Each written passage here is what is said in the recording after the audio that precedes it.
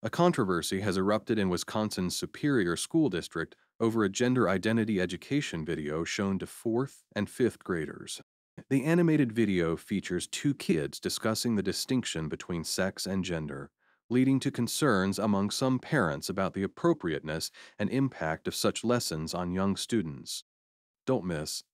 What's the controversy surrounding gender identity education in the Superior School District? How does the district defend its curriculum against accusations of indoctrination? What are the primary points of disagreement between parents and educational experts regarding this curriculum? Aww.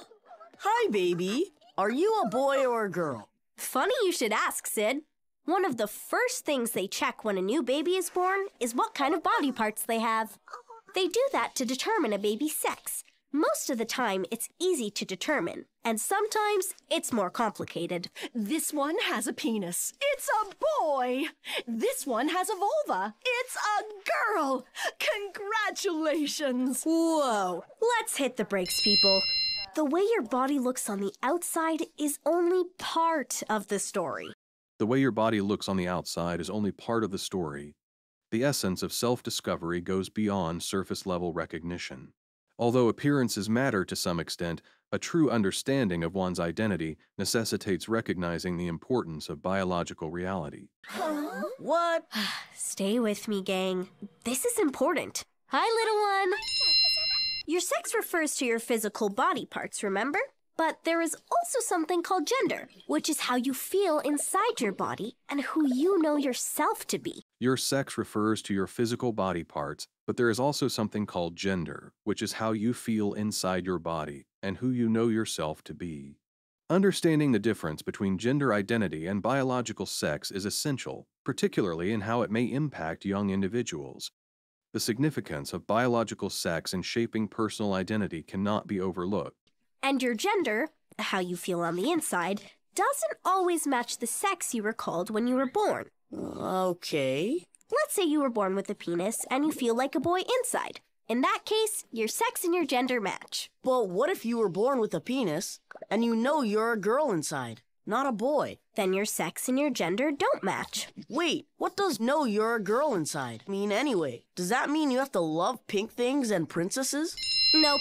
Sometimes people refer to things as girl things and boy things, but this is just how people sometimes classify things, usually to make it easier to sell stuff to kids and their parents. Sometimes people refer to things as girl things and boy things, but this is just how people sometimes classify things, usually to make it easier to sell stuff to kids and their parents.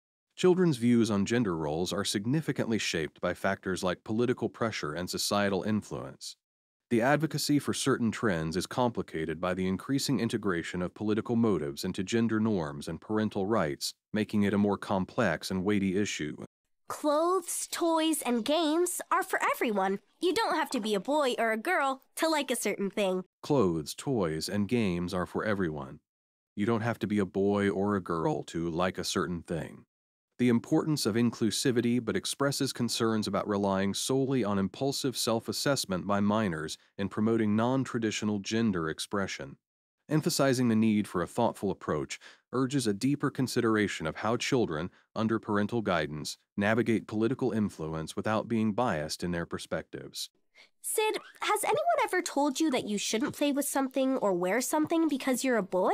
Well, yes. The body parts you were born with don't always dictate who you are, how you feel, or what you like to play with. The body parts you were born with don't always dictate who you are, how you feel, or what you like to play with. The agreement on individuality is limited, raising concerns about the repercussions of separating identity from tangible reality. This separation poses a significant risk as it neglects the crucial role of biological factors in shaping one's identity. Ah, that's such a relief. Gender, how you feel and who you know yourself to be, tells you who you are, and there are a whole bunch of possibilities. Figuring out what feels right for you is just part of growing up. Figuring out what feels right for you is just part of growing up. Embarking on a journey of self discovery holds immense significance, urging individuals to tread cautiously, especially when confronted with irreversible decisions such as surgery that can significantly mold a child's future trajectory. Bye, little cutie. Um, you might want to change that diaper sooner than later. Um, you might want to change that diaper sooner than later. In discussions on gender identity, the consideration of humor frequently emerges. Questions about its appropriateness arise due to the serious and sensitive nature of the subject. The controversy surrounding gender identity education in Wisconsin's Superior School District highlights the ongoing tension between different viewpoints on how schools should approach topics related to gender and sexuality. As the legal battle continues, the debate underscores the importance of finding a balanced and respectful approach to educating students on matters that elicit diverse opinions within the community. The prospect of introducing intricate ideas such as gender identity to fourth and fifth graders raises concerns among many. Some worry about potential confusion and whether it aligns with their age. Defining gender through biology holds significance, yet emphasizing teachings over biological truths might sway a child's inherent tendencies. Disagreements surface not solely about gender identity, but also about teaching methodologies and the perceived imbalance teetering between education and indoctrination. This underscores the ongoing clash between parental authority over their children's education and the push for an inclusive environment advocated by the left leaning faction. Debates brew should schools exclusively focus on conventional subjects, or must they tackle societal matters, including diversity and inclusion, within their curriculum? This approach divides opinions sharply. Some champion it for fostering inclusivity and self acceptance, while others dread its potential to befuddle young minds or distort biological realities. Introducing these concepts early might reshape how children view themselves and others, potentially leading to internal conflicts or uncertainties about their identity. What do you think? I promote myself and my videos.